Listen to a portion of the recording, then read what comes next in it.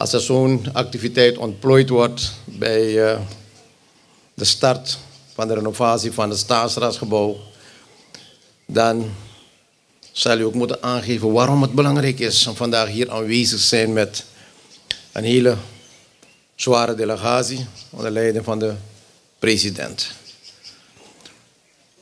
Omdat het in de eerste plaats niet zozeer gaat om de renovatie alleen. Maar het gaat juist om het plaatsen van de renovatie van dit gebouw, Staatsradgebouw, en nog zoveel andere historische panden, tegen de achtergrond van waar wij ons als land bevinden na ruim anderhalf jaar regeren. En ik hoor verschillende sprekers hier zeggen, de voorbereidingen om te komen tot de renovatie heeft pakweg een jaar geduurd. Om één gebouw. Om één gebouw maar te renoveren. Dan sta ik aan het hoofd van de regering om het hele gebouw Suriname, dat van alle kanten verrot is, dat kanten wankel was, dat failliet was, en een zo onaangenaam aangezicht had, nationaal en internationaal, dat ik dat gebouw, groot gebouw, Suriname, moet renoveren, repareren, die uitstraling geven, dat we inderdaad alle Surinamers en alle sectoren van het land een goede huisvesting kunnen geven. Dat is de betekenis van dit gebouw.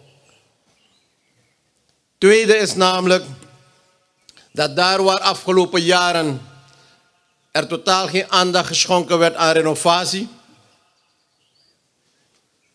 zien we namelijk dat we binnen een jaar al in staat zijn overheidspanden die behoren tot monumentale gebouwen, maar ook andere panden van de overheid, dat we in staat zijn dat te renoveren. Hoe? Met eigen besparing. Met prudent beleid. Met goed financieel beleid. Met maken van juiste keuzes. En dat is de tweede betekenis. En laten we die dingen zeggen, want we vergeten snel. Sommige mensen gaan het altijd een last vinden. Als we terugkijken, maar laat het een last voor hun zijn, want het is een trauma voor hun. Maar dat men zelfs voor die verkiezing nog bezig was staatspanden te verkopen. Aan wie? Aan de centrale bank. Om zogenaamd weer geld van de centrale bank te krijgen. Om weer een corruptief beleid te gaan voortzetten. Daarmee was men bezig. Gelukkig worden zaken nu onderzocht daar bij de rechtercommissaris. En kijk waar we nu staan. Die staatsgebouwen. Niet alleen een facelift te geven. Niet alleen een cosmetische behandeling te geven. Maar zorg dragen dat onze medewerkers een goede huisvesting hebben. Een goed werkplek hebben. Dat we daarmee respect geven aan onze ambtenaren. Dat ze als ze van huis gaan, dat ze gaan naar een werkplek waar ze zoveel uren van de dag door gaan brengen. Dat ze met goed gevoel en goede motivatie gaan doen. Weet je hoe frustrerend het is voor ambtenaren als ze van huis vertrekken? En ze weten dat ze daar gaan werken en 7, 8, 9, 10 uren daar gaan doorbrengen. In een lekkend gebouw, zonder ventilatie, zonder meubilair. En dan moeten we hoge prestaties van hen verwachten. Dat is die andere betekenis van de renovatie van vandaag. Dat we goede werkplekken willen geven. Maar ga inhaken op een paar van de zaken die hier zijn aangehaald. Laat me aangeven waar wij als regering staan met ons beleid, met onze visie, als het gaat om overheidsgebouwen. We hebben in de regeringsraad, minister, afgelopen woensdag beslist dat de staat zoveel gebouwen heeft. En zoveel van die gebouwen, het gaat om dienstwoningen, die her en der verspreid liggen in het hele land. Gebaseerd op oude regelgeving, oude wetten. Dat als je in Wanica uh, of district Suriname toen gedetacheerd werd, maakte je aanspraak op dienstwoning. Hetzelfde geldt voor zoveel andere districten, zelfs in Paramaribo. De randdistricten van Paramaribo, randresorten van Paramaribo. Als je daar gedetacheerd moest je een dienstwoning krijgen. En die dienstwoningen zijn allemaal gebouwd. Maar gaat u kijken. één, in welke staat die dienstwoningen verkeren. En twee, of die medewerkers nog rechtens aanspraak daarop maken. Dat zijn gewoon sociale woningen geworden in feite. We hebben daaromtrent beslist dat er een totale inventarisatie komt van al deze woningen. En de minister OW samen met andere ministers op basis van regelgeving op een transparante wijze tot verkoop gaat van al deze panden en al deze woningen.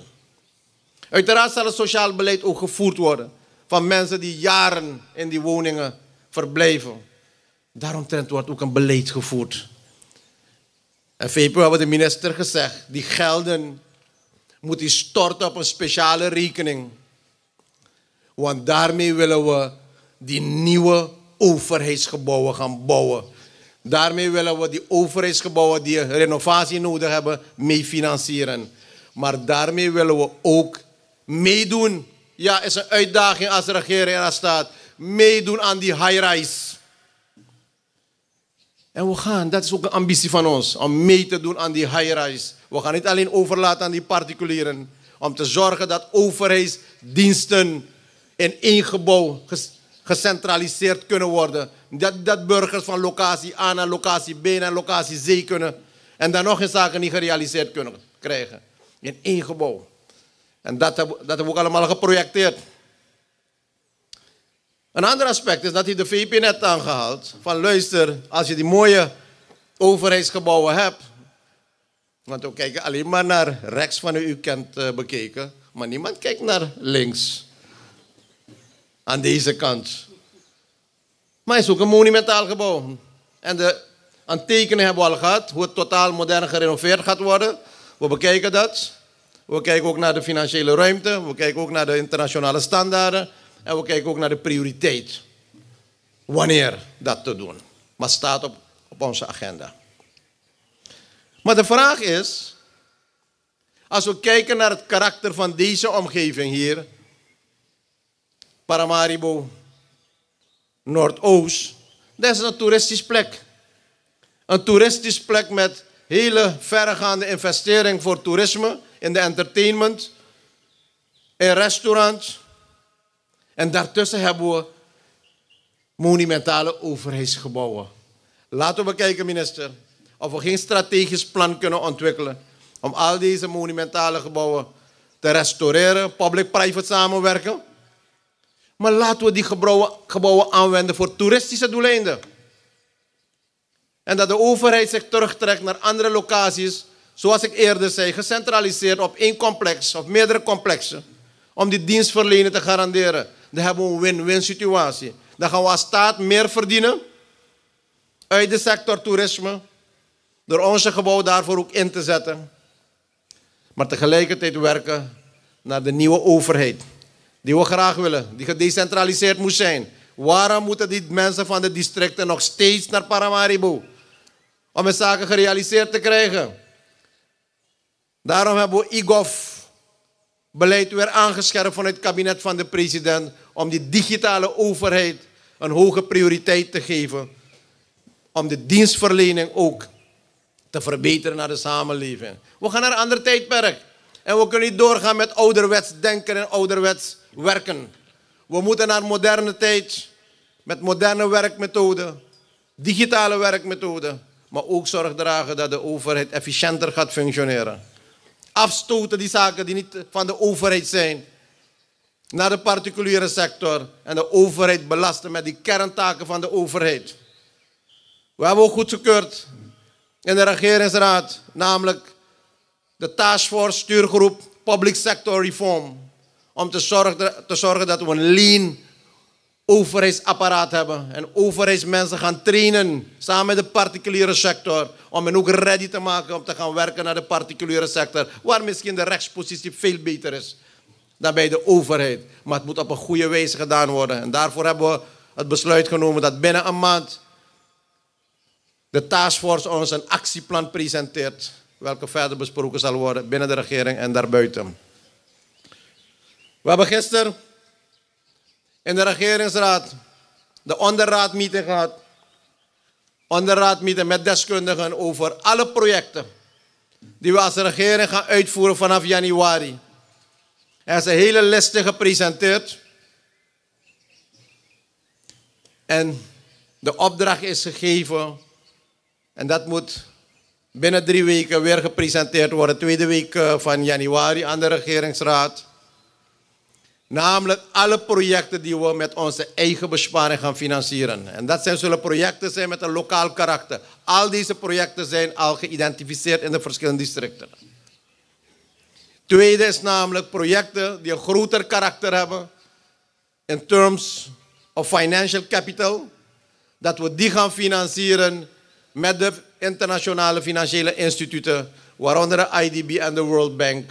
Want zoals u weet, we staan op agenda van het IMF op 22 december. En direct na die goedkeuring van IMF worden direct enkele tientallen miljoenen gestort op de rekening van Suriname voor de versterking van de macro-economische situatie. Maar direct daarna volgt IDB en World Bank voor budgetsteun, begrotingssteun en uitvoering van projecten. Maar dan moeten we ready zijn met al onze projectdossiers. En ik was blij gisteren te horen van het team van deskundigen dat er iets 20 projecten al beschreven zijn in zo'n staat zijn dat ze afgerond kunnen worden. Maar tegelijkertijd hebben we het besluit genomen om meer deskundigen aan te trekken, nationaal en internationaal. En alle personen incentives te geven om al die 100 plus projecten die we al geïdentificeerd hebben in de vorm van projectdossier ready te hebben. Derde categorie van projecten gaat zijn namelijk projecten die we uitvoeren met donormiddelen. Die zijn er ook, zoals restant verdragsmiddelen. Daar zijn die projecten ook al geïdentificeerd. Vierde zijn de projecten die te maken hebben met de public-private samenwerking. En daar komt binnenkort de minister van Openbare Werken met een bekendmaking. Dat besluit is genomen in de regeringsraad. Hoe die public-private samenwerking eruit moet zien. En deze week hebben we een meeting daaromtrent. Wat de rules en procedures zullen zijn. Met name bij het bouwen van woningen. Hebben wij de overtuiging als regering, als je die particuliere sector erbij betrekt, je sneller woningen kan bouwen. Die gronden zijn al geïdentificeerd. Dat zijn overheidsgronden, maar ook particuliere gronden. En daar moet een goed besluit nemen Namelijk welke gronden aangewend gaan worden voor verkaveling en toewijzing op basis van de registratie. Meer dan 50.000 personen hebben zich digitaal al laten registreren dat ze een stukje grond nodig hebben. Daarnaast gronden waarop de particulieren gaan bouwen op basis van public-private. Waarbij de staat kan inkomen met een weg op basis van goede afspraken. En de investeerders, de particulieren, die gaan dan bouwen. En laatste is namelijk waar de staat zelf moet bouwen. De sociale woningen samen met de private sector, met heel wat mensen niet in staat zijn te bouwen. Al deze zaken zijn al voorbereid. En laatste categorie van projecten, dat zijn die megaprojecten. En die hebben ook allemaal gelist. De bruggenbouw over de verschillende rivieren, waarvan de expression of interest al uit is. Grote investeringen in de verschillende districten. Dat gaan we doen op basis van het principe van build, design, build, finance en operate. En daartoe heeft de minister van OW ook al instructie gehad. En het eerste besluit kan komende tijd vallen als het gaat om de bouw van de quarantainebrug op basis van dezelfde principe. We hebben mensen ook al de expression of interest van de brug over Domburg. En zo gaan we nog meer van die expression of interest hebben. Uiteindelijk gedirigeerd naar een groep van investeerders, entrepreneurs, bedrijven die bereid zijn zelf te financieren op basis van afspraken met de regering. Dat is het plaatje. Als het gaat om infrastructuur en bouw. En dit hebben we allemaal kunnen voorbereiden. Het jaar 2022 wordt het jaar van aanpakken. Zichtbaar resultaten neerzetten. Zodat de samenleving ziet dat waarvoor ze ons hier geplaatst hebben als regering. Dat ja, een anderhalf jaar een moeilijk jaar was. Een anderhalf jaar moeilijk was om jouw huis weer te bouwen. De rotte plekken weg te halen. Goed fundament te regelen. En dat we nu gaan bouwen aan het nieuwe huis Suriname. Nogmaals, mijn mensen. Vandaag geven we start aan zoveel En tegelijkertijd heeft u dan vernomen in welk beleidskader en beleidsrichting we deze investering van de staat zien. Wat met eigen besparing, wat met internationale financiële instituten, wat met donormiddelen, wat met public-private samenwerking en wat met design, build, finance en operate gaat plaatsvinden. Minister, gefeliciteerd met start. En ik wil u allen vragen om te zorgen, namelijk dat we die projecten op tijd ook opleveren. En ik vraag ook de schepper, al de mensen die hier gaan werken, geef een bescherming. Laat er geen ongelukken gebeuren, omdat we dat niet nodig hebben. Vicepresident, in de ORA geeft u het niet makkelijk. Ja, de minister van Financiën is niet hier. Ik kan nog die klacht elke dag horen in de RVM, in de regeringsraad. Ja, maar ik heb autorisatie nodig. Ik heb hier een missieve. Ik kan geen projecten uitvoeren. Dat is de bedoeling van een grote matrix maken. Van al die projecten gecategoriseerd. En dat keuren we als regering goed. Deze projecten, daarvoor moet er financiering zijn. En dat gaat gebeuren binnenkort. Na die meeting van gisteren in de regeringsraad. Zodat we klaarstaan om grote projecten uit te voeren. Maar ook lokale projecten voor de verschillende districten. Bedankt allemaal. May God bless you all.